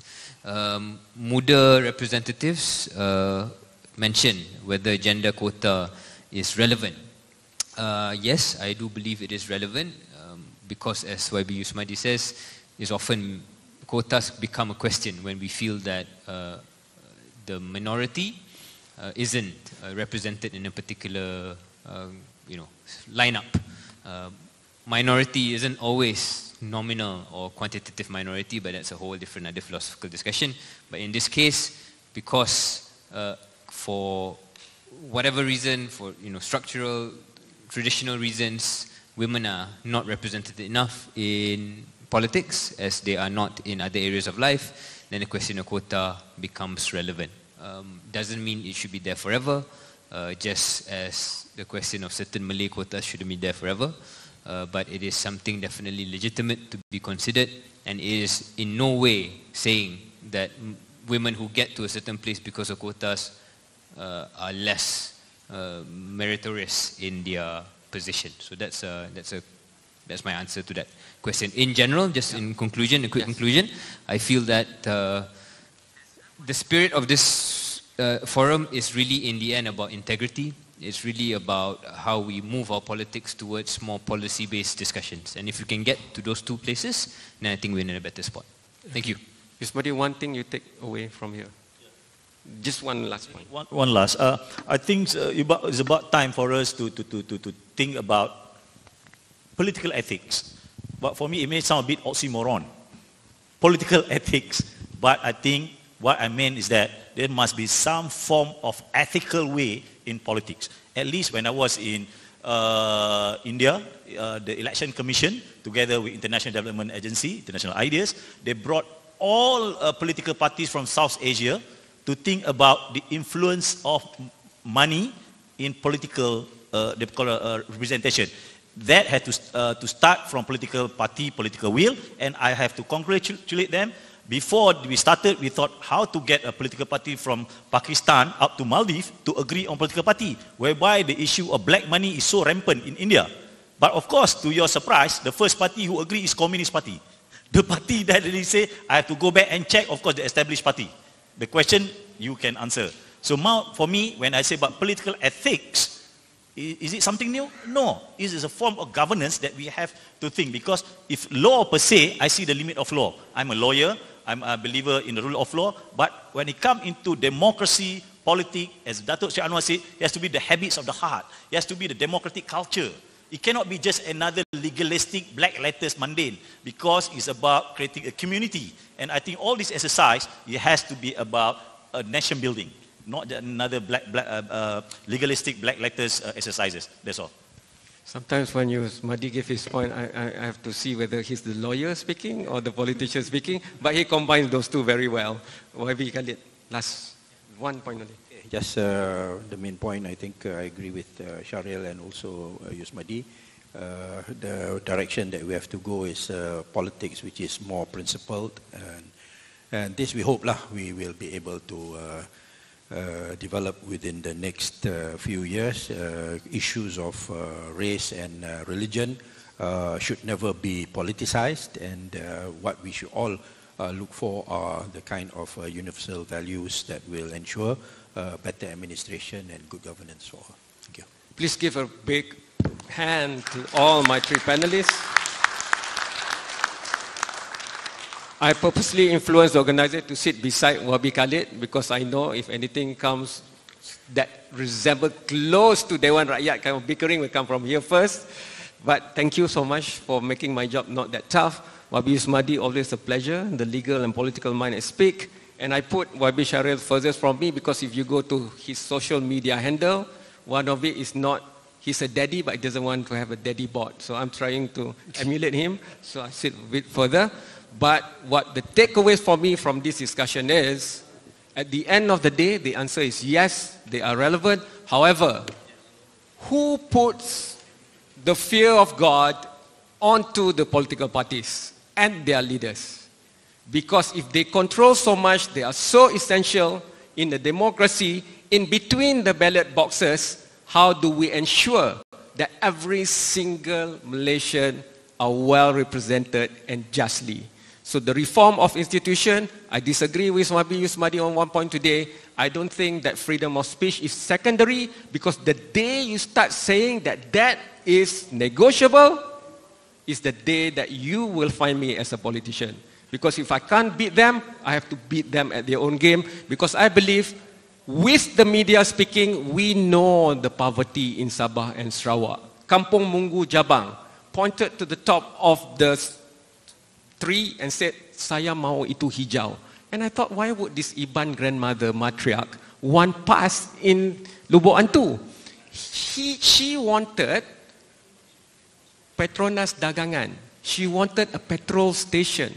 At the same time in Kuching, Yang Amat Berhormat Ketua Menteri was talking about how under Mining Ordinance 56 and 58 of Sarawak, Petronas shouldn't be taking anything out of Sarawak. So I'm caught in the two worlds, but that's what media can do. That's what discourse can do. Thank you so much for making discourse still living and breathing in Malaysia.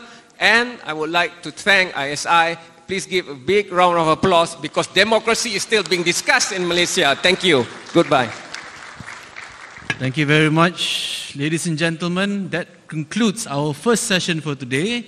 It was an interesting topic. It was a very heated topic. And also on a personal note, uh, Mr. Kamarul, thank you very much for bringing up Borneo into the. As a Sabahan myself, I'm very, very glad to see at least Sabah topics being brought up more in this kind of forums. So ladies and gentlemen, without further ado, I'd like to, I'd like to invite Mr. Chia to actually come up and give the, our token of appreciation to our panelists and also our moderator for participating for our event today. Please.